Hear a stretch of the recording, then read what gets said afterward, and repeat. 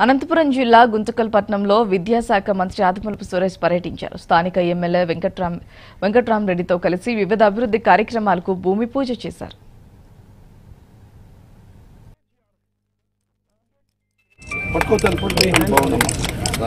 బాగా sir photo.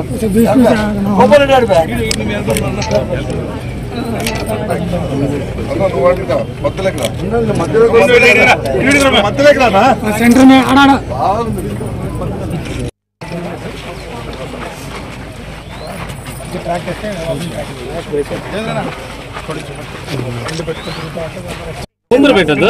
నేను photo తీసిపోతాను.